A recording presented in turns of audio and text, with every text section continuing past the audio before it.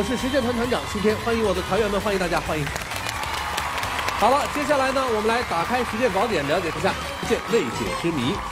被美容的牛肉，牛肉挺好吃的，还会被美容吗？各位，接下来就让我们一起实践出真知。在我国，自古就有立冬养藏、滋阴补阳的说法。在进入冬季之前，我们要抓紧时间做一件事，那就是补。而说到这补，我们就不得不提一种食材，那就是牛肉。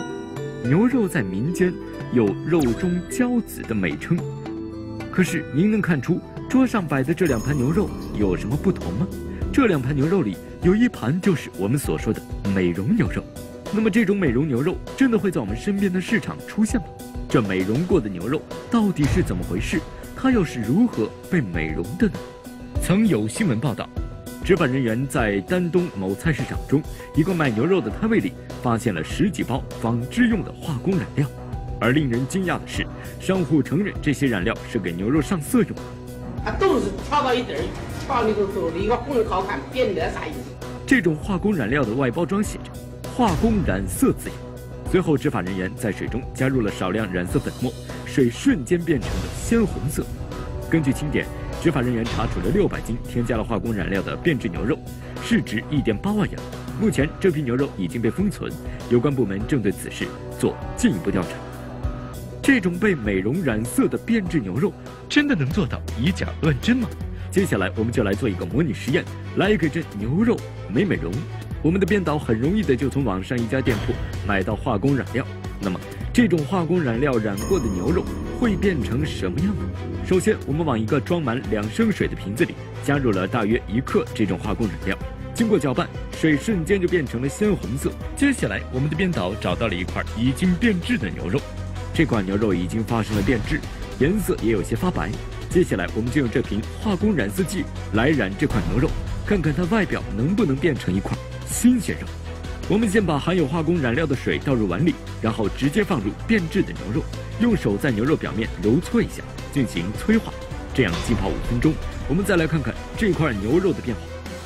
五分钟过后，这块牛肉的表面已经和染色之前有了很大的变化。我们再拿它和一块正常的鲜牛肉做一些对比，这块染过色的牛肉更加鲜红，像刚刚屠宰过的。当然，我们这只是简单的把牛肉染色，就已经把一块变质的牛肉染成了鲜牛肉。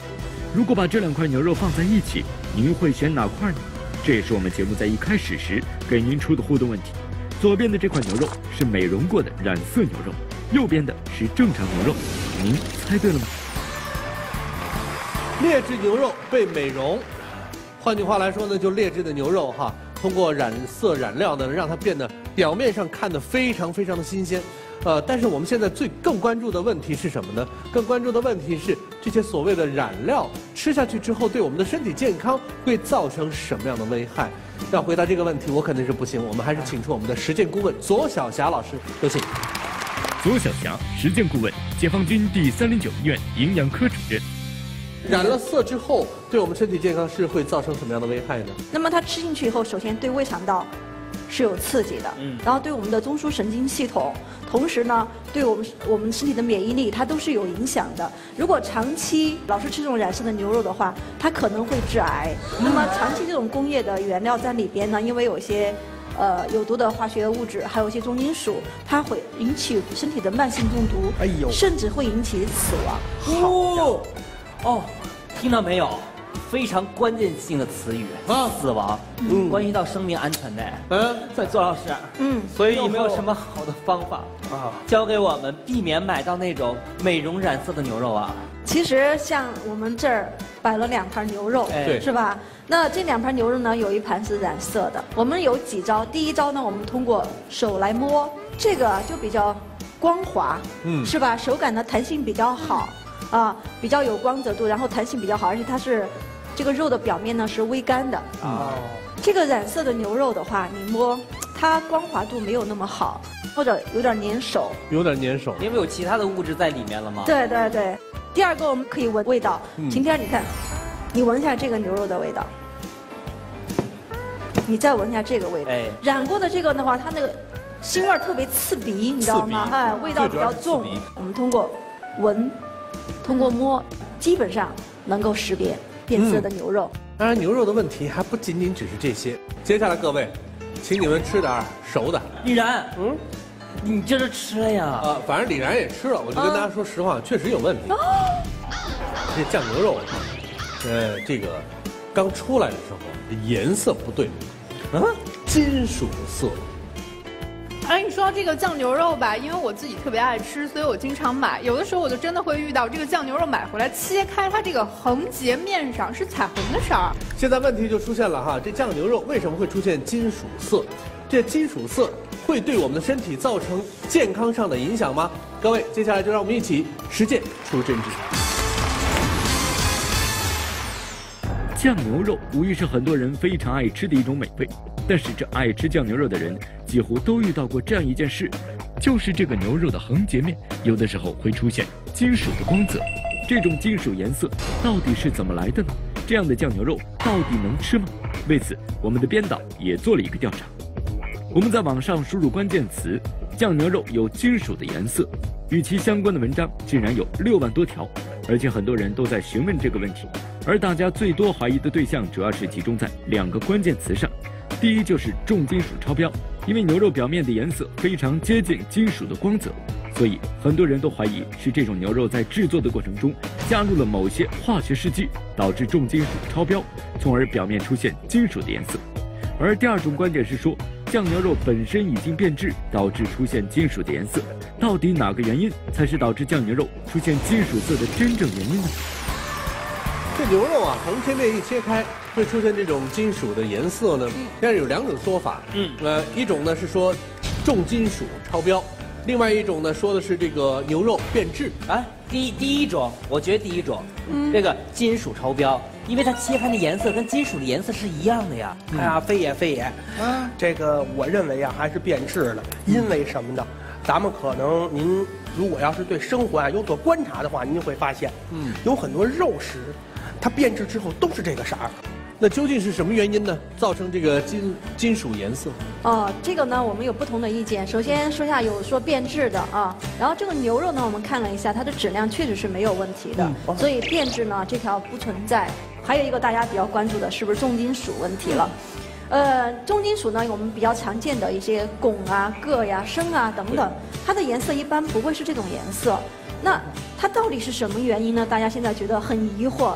其实就是我们在做酱牛肉的时候会用用到很多的什么呢？嗯，盐。盐盐啊。这个盐呢，它可能放的就是盐，它成分主要什么？氯化钠。那么氯化钠跟我们肉里边有很多的矿物质，一些别的微量元素，一反应的话，有些矿物质它会被置换出来。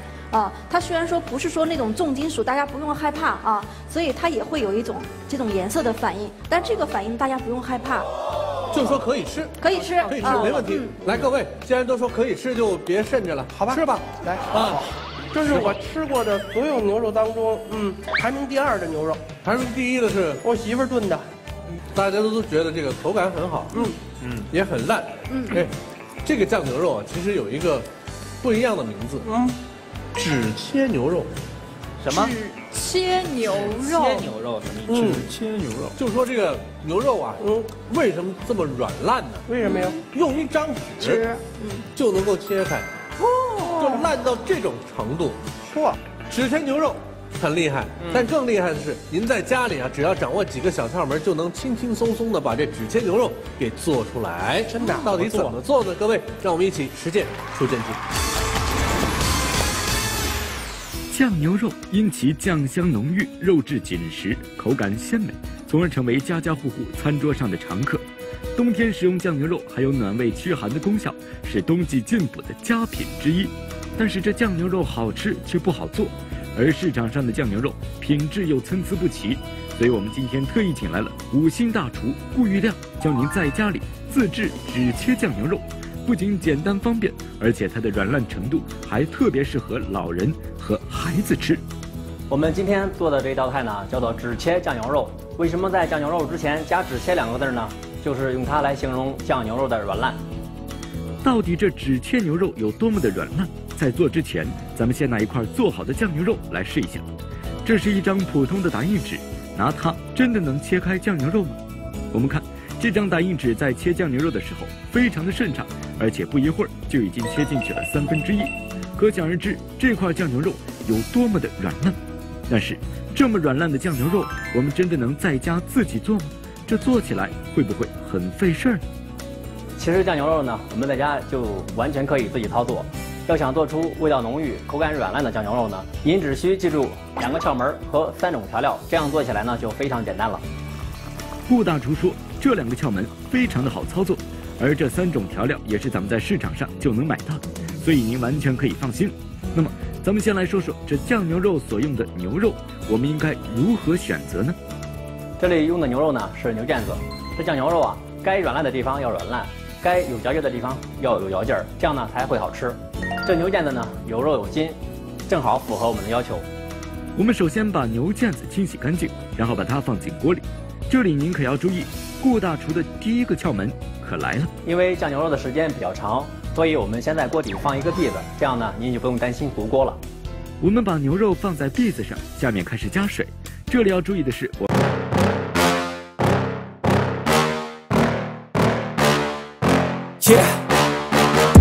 Please tell me that I can't, that I won't, that I fail, that I'll never make it out, yeah Please tell me all the bad, never good, fill my head full of every single doubt, yeah. Please say any negative thoughts, I pop off when I hear people say I cannot. I get off to the thought of proving everyone wrong, I won't stop to the top, so you better back off and get lost. I'ma stay loud, stay proud, never running out, never heading south. I'll be spreading out, call it word of mouth, can't put me down I'll be getting loud, you can have it douse, not what I'm about. Have your f***ing cloud, it be raining now I keep making sound, go another round, I'm legend bound, can't stop me now. You don't slow burn like a disease. Just tell me that I can and I'll show you things that you couldn't believe. Just tell me that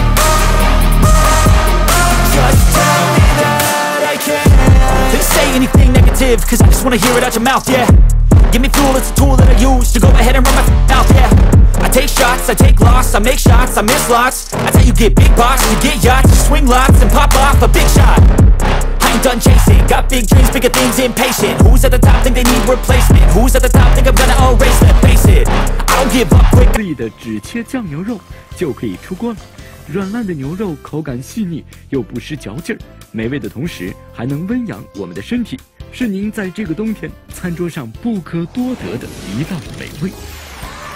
说完了牛肉，接下来呢，我们来说一说这秋天必须要喝的、强身健体的、对身体有一定滋补作用的，就是这个燕窝羊汤。羊汤，哎哎。这个汤还真不错，嗯，为什么呀？这汤已经是这个奶白色的，熬成奶白色的羊汤才是最有营养的羊汤，对，喝起来才是最滋补的羊汤。哦，这是你的认为，其他有补充吗？确实是啊，它炖到这个份儿上，应该是好多羊肉的精华都已经被熬出来了，才能出这个色儿。嗯，好了，各位，这说了半天了哈，我们今天接下来要面对的实践未解之谜呢，就和这个羊汤是有关系。我们来打开实践宝典看一下。好。奶白羊汤的秘密太棒了！究竟有些什么样的秘密呢？各位，让我们一起实践出真知。随着天气转凉，大街上处处可见的羊汤馆生意开始火爆了起来。远远走过就能闻到浓浓的羊肉清香。降温时喝羊汤最好，享受美味的同时驱走身体中的寒气，实在是美事一桩。可就在最近，这滋补的奶白羊汤。却引起了郭先生的怀疑，这究竟是怎么回事呢？前两天我买的这份羊汤，回家一喝，他就觉得味儿不对，跟我原来喝的它不一样。我们拿到了郭先生所说的这碗奇怪的羊汤，乍一看并没有发现什么可疑的地方，反而是其奶白色的汤色显示着这应该是一碗好羊汤。那为何郭先生会觉得它有问题呢？首先，这羊汤的这颜色它就不对。呃，咱们平常喝的呀，都应该那种自然的那种奶白色，有点偏黄。它这汤呢特别白，尤其是放凉了以后，就跟牛奶似的，特别特别白。其次呢，就是羊汤的味道。平时咱们喝羊汤呢，那个羊汤呢特别鲜，但是我买这碗羊汤，特别的香，香的都刺鼻。最奇怪的，这汤里啊它没有油。咱们平时喝的羊汤呢，凉了以后上面会有一层羊油，但是我买这碗它没有。我是从来没喝过这种羊汤，颜色煞白，味道刺鼻，没有油脂，这种种现象看上去的确是很奇怪，和我们平时对羊汤的认知完全不同。那么这种奇怪的羊汤真的普遍存在吗？于是我们分别从不同的地方购买了三份羊汤进行观察，发现三份羊汤无一例外的都呈现牛奶般的白色，也没有闻到明显的羊肉香味儿。我们再用吸油纸分别蘸取四碗羊汤。发现这几碗汤都没有什么油分，实验进行到这里似乎陷入了矛盾。难道说我们认为的羊汤出现的怪现象都是正常的？为了弄明白羊汤究竟是怎么了，我们购买了新鲜的羊骨和羊肉，准备自己熬制一份羊汤，与外面购买的羊汤进行对比。我们将羊肉炖煮一小时后，发现首先一掀开锅，就闻到一股浓浓的羊肉鲜味儿。此时的羊汤呈现出一种淡淡的白色。但是却不像郭先生买的羊汤那样雪白。待羊汤放凉之后，我们发现汤色依旧是淡淡的乳白色。最关键的是，我们可以看到汤面漂浮着一层薄薄的油脂，这与外面买到的成品羊汤可谓是大相径庭。那么，会不会是我们炖煮的时间不够久呢？要知道，外面的羊汤馆都声称是用老汤炖制七八个小时才能做出来的。因此，我们将羊汤继续炖煮六个小时，看看羊汤会不会变成奶白色。六个小时过去了，羊汤的味道愈加浓郁，颜色也有了些许的变化，乳白中微微有些发黄，晾凉之后呈现出自然的奶白色。汤面上有一层厚厚的浮油，但是与外面买到的羊汤还是大有不同。那么，为什么自己在家无法做出同外面卖的一样奶白的羊汤呢？难道是因为熬制的方法不对吗？还是说这奶白的羊汤本身就存在问题呢？现在问题来了，自己家熬的羊汤和外面卖的这个羊汤为什么不一样？往这儿看啊，我这儿呢有两小碗神秘的东西，我呢不用熬制，给大家做出奶白色的羊汤。没有羊肉的羊汤是吗？你不管有没有羊肉，它也不会成为那样。那咱们接着往下调，好不好？现在给你调出一碗羊汤，我可能不用多，我这个可能也就这么一小勺吧。然后这个膏状的我再来一小勺，好。再倒点水。闻到味儿了吗？奶白色的羊汤，你闻一下。真的是就是羊肉的那个，这个这个它不仅仅是就是呃就是熬好的那个羊肉的那个香味儿有，而且是已经把料什么都放足了的那种。你看啊，两碗羊汤放在一起。如果我刚才不告诉你们，让你们自己选的话，你们可能会选哪一碗呢？说实话，羊汤呢？说实话，要说实话，我要选清淡一点，就是刚做出来就是你那个。嗯，因为感觉这个好像还没有这个油大，是吧？那个太腻了呀。对，这个一看就是首先颜色符合我们说的奶白色。对，罗斯文想做什么？其实我自己说实在的，我会选那个左边有有羊肉在里面的那个。对，因为就是，但是那个就是真的是闻起来没有什么区别，我觉得特别的没有区别。因为这是有对比。有对比。如果没有对比，没有对比的话，我觉得我我我闻到那个肯定会相信的。哎，那个周老师，嗯，这个到底是什么东西啊？我这儿有两种神秘的食材。刚才大家看了一下啊，有一个这个粉末状的，是吧？一般很多的这些批发市场都可以买到。这是什么呢？羊肉香精。也就是说，我这个可能没里边没有羊肉，但是我勾兑出来以后，里边就有浓烈的这个羊肉的香味儿就出来了。另外，我这儿不是还有一一小碗这个膏状的，那就是我手里拿的这个叫羊骨白汤。这个白汤呢，它什么作用呢？它哎。一匙一放进去以后呢，就让这个汤啊一下就成为变稠，变成奶白色了。一个是调色，一个是调味儿，就这两种搭在一起的话，里边没有任何的羊肉。那为什么会有这种羊这种事情出现呢？因为这两种这种我们买的这种食品的添加剂啊，它非常的便宜，所以就让一些不法的商贩呢就觉得哎，这是有空子可钻了。那么，按照专家的这种方法所勾兑出的假羊汤，是不是就是郭先生买到的羊汤呢？为此，我们自行勾兑了一份羊汤，与郭先生家的羊汤进行对比。我们在热水中加入一小勺的羊肉香精和羊骨白汤，根本不需要长时间的煮制，只需要稍加搅拌，我们就闻到了一股刺鼻的类似羊肉的气味。羊汤甚至出现了我们之前熬制六小时都没熬煮出来的奶白效果。接下来。待羊汤冷却之后，我们进一步用吸油纸去沾取羊汤表面，发现没有任何的浮油。这种现象表明，郭先生买到的羊汤无疑就是勾兑的羊汤。那么，这种无论原材料还是制作方法都简单到难以置信的假羊汤，喝下去究竟会对我们的身体造成什么样的危害呢？假的羊汤不但滋补不了身体，里边有些成分呢还会危害到我们身体的健康。比方说里边的一些香精、一些谷氨酸钠，如果过多的话，会危害到我们的胃肠道、我们的神经系统。如果长期喝这种假的羊汤的话，有可能还会致癌。那么，为什么商家要冒着这么大的危险来做假羊汤呢？恐怕离不开的还是这背后的利益驱使。那么真假羊汤它的成本到底是有什么区别呢？我们一起来算一下。一款好的羊汤，真的羊汤，我们熬制的第一个。呃，时间要长，又没火。第二个呢，我们这个有很多的羊骨、羊肉。那么一碗好喝的羊汤成本呢，大概在十块钱左右。而一碗假的羊汤的话，我们也来看一下它的成本。一桶比较大的羊肉香精的话，可能就十来块钱。我们只要取其千分之三，就可以熬出一款羊汤。它的成本可能就只有几分钱。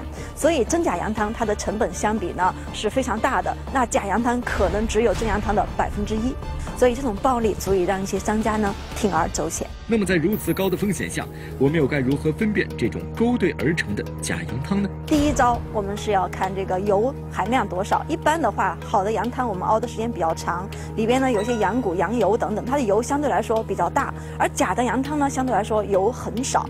第二招的话，我们就是要闻这个尝一下这个味道啊。好的羊汤的话，它闻起来很香，因为煮的比较稠厚，喝起来呢也是口感比较顺滑的。而不好的假的羊汤的话，我们闻着很香，但是喝起来很寡淡，就像水一样，它的水料是分开的，还有些刺口。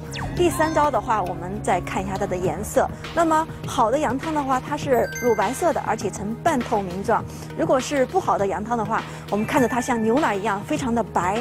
但是呢，没有透明状，你也看不见里边一些羊骨啊、羊肉等等。所以从以上三招，我们就可以辨别出好的羊汤和假的羊汤。专家老师教的方法是不是很简单呢？大家只要按照这个专家教给的这个方法哈，就能轻松辨别出哪一碗是勾兑的羊汤了。天儿哥，我特想知道啊，在家里面我们能不能熬出那个奶白色的羊汤啊？那得多费煤气呀！我觉得我买那么多羊肉，我花那么多代价，我就熬出一碗羊汤来，我多亏呀！就是，哎，你们这问题都不是问题，不用花那么长时间，也不用花那么大代价，也不用那么复杂的工序啊，在家里就能够轻轻松松啊做出鲜香的奶白色的羊汤，而且不仅仅是一碗汤，这叫什么？一羊两吃。接下来把方法教给您，各位就让我们一起实践出真知。众所周知，立冬时节是喝羊汤的季节，但是熬羊汤极费时间，动辄就要熬上七八个小时，而且需要大量的羊肉、羊骨，成本高又费火。那么，如何才能自己在家做出省时省力又省钱的奶白色暖身羊汤呢？我们今儿就请出顾大厨来为大家揭晓。据说，用了他的方法，不仅大大缩短了熬制羊汤的时间和成本，而且熬出的羊汤可谓是汤白如奶。最重要的是，在一小时内就能做出两道美食，只要三十块钱，一个小时，我就能做出奶白鲜香的羊汤和香煎小羊排两道菜。奶白色晶莹的羊汤令人口口生津，回味无穷。汤色虽白，却非常透亮。立冬时节喝上一口，从身暖到心。金黄鲜嫩的小羊排，真正做到了外焦里嫩、轻松脱骨，两者搭配颇有些中西合并的意味。但是，究竟如何在一小时内做出两道美食，又将成本大大压缩到了只有三十元呢？顾大厨来为我们层层揭秘。要想完成这看似不可能的任务，做法呢就大有不同，需要有妙招来相助。那么我今天就把奶白羊汤的做法先教给大家。要想在节约成本的同时熬出奶白鲜香的羊汤，羊肉的选择恐怕是至关重要的一部分。那么，究竟该选择什么样的羊肉呢？羊肉太瘦呢，没有油脂，寡淡啊，不好喝；那羊肉太肥呢，又会太油腻。我们应该选择肥瘦相间的羊排。我们在熬羊汤的时候呢，一斤羊排配上二斤羊骨，这样呢，汤不仅是味美，并且能够把成本控制在三十块钱以内。挑好了食材，接下来就是如何制作。郭大厨又会有什么妙方呢？我们做羊汤的时候呢，都会选择用飞水的方法来去除腥味儿。那我们今天呢，用冷水浸泡的方法来代替，这样呢，可以去除腥味儿和杂质的同时呢，又能保证羊肉鲜嫩的口感。将羊肉和羊骨浸泡在凉水中搅动，只要等血水都浸泡出来，捞出备用即可。接下来，您是不是以为只要将羊排和羊骨一起下锅炖煮就可以了呢？答案当然是不。